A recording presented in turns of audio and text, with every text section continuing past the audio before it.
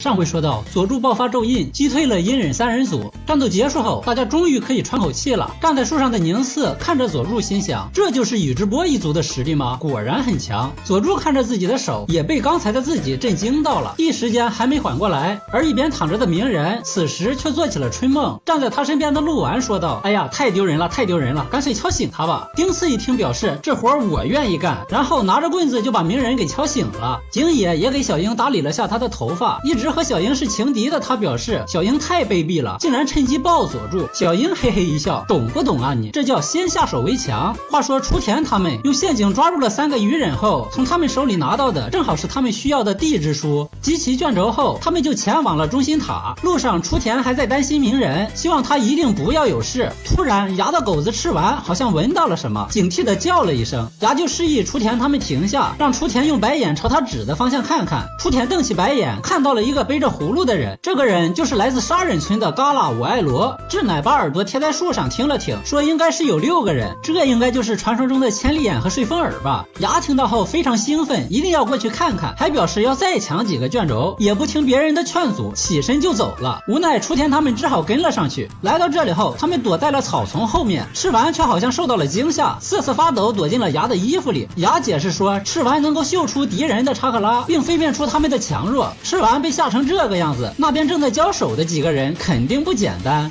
我爱罗身边的看九郎说：“是不是要先弄清楚他们拿的是什么卷轴再动手？要是一样的话，也就没必要再抢了。”我爱罗说：“那又有什么关系？洒家要把看到的人全部杀光。”对面三个鱼人一听，妈的，这个小子个头不大，口气倒是不小，那就受死吧，臭弟弟！然后打开了背后的伞，向空中一扔，双手结印，施展出人法，如雨入千本。空中的雨伞快速旋转起来，并且发出无数飞针。从四面八方刺向我爱罗，一阵烟土过后，只见我爱罗被一层沙土包围，竟然没有受到一点伤害。鱼人大吃一惊，继续发动攻击，又被打了下来。一边挂机的看九郎开始了解说，说这是嘎啦独有的绝对防御，操纵葫芦里的沙子，用强大的查克拉形成壁垒，保护在我爱罗的四周。这个防御不是我爱罗自主意识控制的，而是全自动开启的，所以对于嘎啦来说，一切攻击都是没有用的。鱼人表示啥破玩意儿，冲过去就要硬刚一波。我爱罗抬起。双手结印，然后伸出右手，用出一招杀复书。只见大量的沙子扑向了冲过来的鱼人，把他直接包成了一个粽子。飞在空中的雨伞也飞飞掉了下来。外罗打起了一把伞，然后抬起右手，被包成粽子的鱼人也缓缓飞了起来。接着，五爱罗拳头一握，一招杀扑送葬，空中的鱼人就变成了血雨落了下来。另外两个鱼人见到这场面，吓得浑身发抖，赶紧交出了自己的卷轴求放过。然而五爱罗并不打算放过他们，又是双手一抬，拳头一攥，就让他。俩和队友一起上路了。旁边草丛里看戏的牙他们看到这场面都要吓尿了。这他妈哪敢惹？脚底抹油就打算要溜。看九郎拿起鱼人的卷轴一看，正是他们需要的天之书，就叫五爱罗动身前往中心塔。五爱罗却一扭头看向草丛，表示还没有杀爽。正准备跑路的牙他们听到后心里一惊，干了，这是被发现了呀！看九郎和手菊好一顿劝，才让五爱罗打消了继续杀人的念头。拿起自己的葫芦塞后就走了。逃过一劫后，牙他们三三个。瞬间瘫倒在地上。随后，他们来到了中心塔，在这里又见到了我爱罗他们。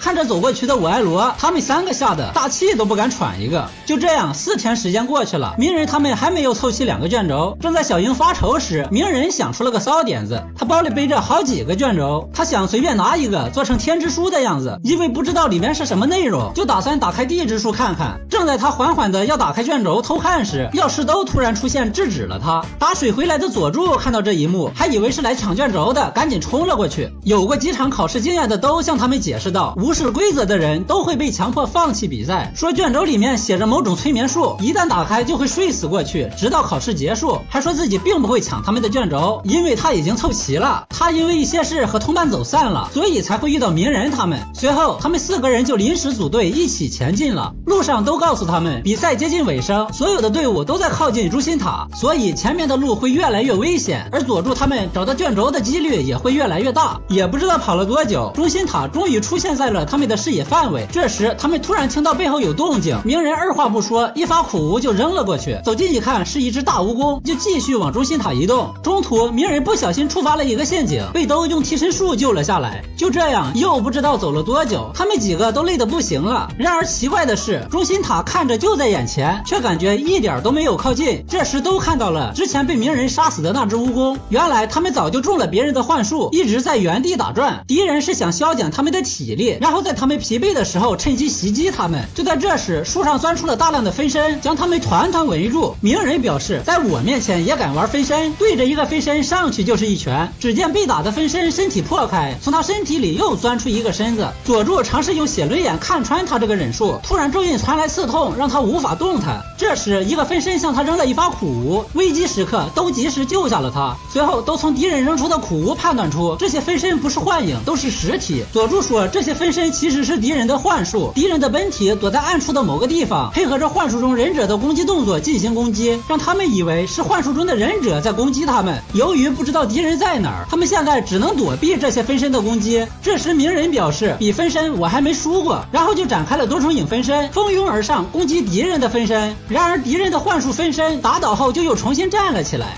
随后，佐助他们也只能硬着头皮一起上了。这一打就打到了天亮，鸣人他们终于体力不支倒在了地上。暗处的敌人看到后，表示要开始收割人头了，随即解除幻术，出现在了鸣人他们面前。佐助抬头一看，原来是之前袭击他们的那个鱼人的小队。这鱼人表示终于可以报仇了，然而却见鸣人呵呵一笑。突然，佐助他们出现在三个鱼人的身后。再看前面这几个，竟然是鸣人的分身变的。佐助让鸣人休息，剩下的就交给他们了。鸣人却一。拳上去就干倒了三个鱼人，说到：“我才不会让你出风头呢！”看着鸣人，佐助心里很是震惊，这还是以前那个吊车尾吗？他是什么时候成长到这种程度的？被打倒的鱼人三人站起来，表示想打败他们并没有那么容易，然后施展出影分身，鸣人冲上去就一通乱打。见鸣人乱来，都冲上去想制止他，却被划伤小腿倒在了地上。这时佐助告诉他们，这里面根本就没有本体。突然，一个分身跳起刺向鸣人，同时从土里也钻出了三个鱼人。的本体又一次的划伤了兜，倒在地上的兜彻底被激怒，冲着三个鱼人瞪大了双眼，眼睛也慢慢变红。三个鱼人被兜的眼神吓了一跳，一时间愣在了原地。鸣人趁机一脚踢过去，把他们三个踢倒在地，口水直流。随后他们的分身也跟着消失了，都从地上坐起来后，又变得一脸人畜无害的样子，说感谢鸣人救了他。鸣人从鱼人的包里掏出卷轴一看，正是他们需要的天之书。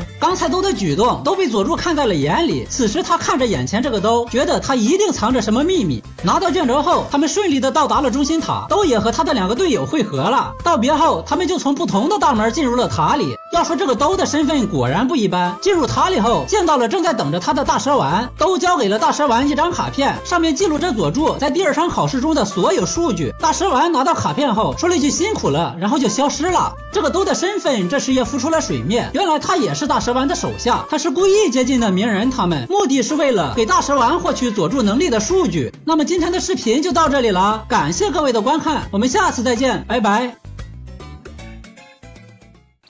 あのさかかし先生さ俺がもっと活躍できるなんかこうもっと熱いのねえの？こう俺の人道をこう心をこうさ